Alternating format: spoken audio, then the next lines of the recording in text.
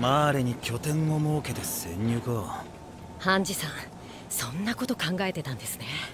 そこで本場のマーレ料理に舌包みを。えー、俺何持っていこう。腹を下したら大変だよな。胃薬と歯ブラシと故郷の味を何か。ハンジさんの話聞いてた？僕たちが平和を望んでいることを世界が知れば何かが変わるかもしれない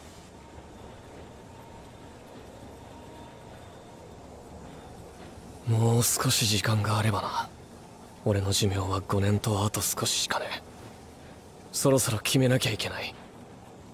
俺の巨人の継承者を。私が引き継ぐ。お前じゃダメだろ。アッカーマン家が何なのかまだ分かってねえんだ。何よりヒーズルと色々やってこってやつが。巨人になってどうする？お前じゃダメな理由は多すぎんだよ。じゃあ他に誰が？俺だまず俺はエレンよりはるかに頭がいい。土地狂って死に急ぐようなこともなくいついかなる状況でも優れた判断力を発揮できる稀有な存在。それが俺だ。お前のお下がりは気に入らねえが実際俺以上の人材がいるか？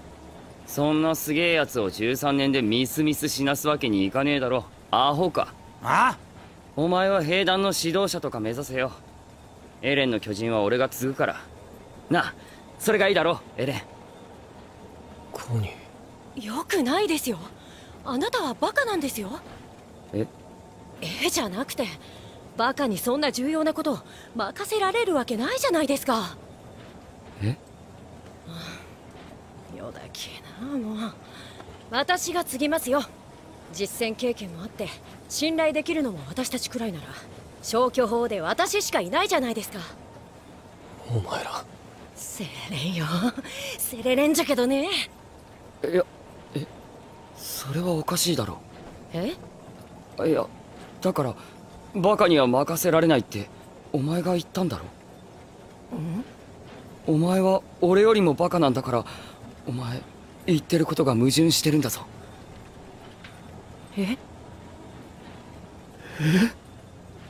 俺はお前らに継承させるつもりはないなんでだ？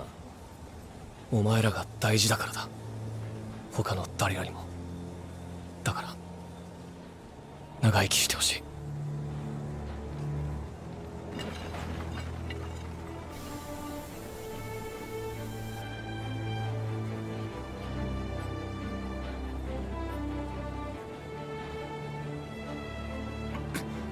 は？あてめえ何赤くなったんだどうすんだよこの空気をよ！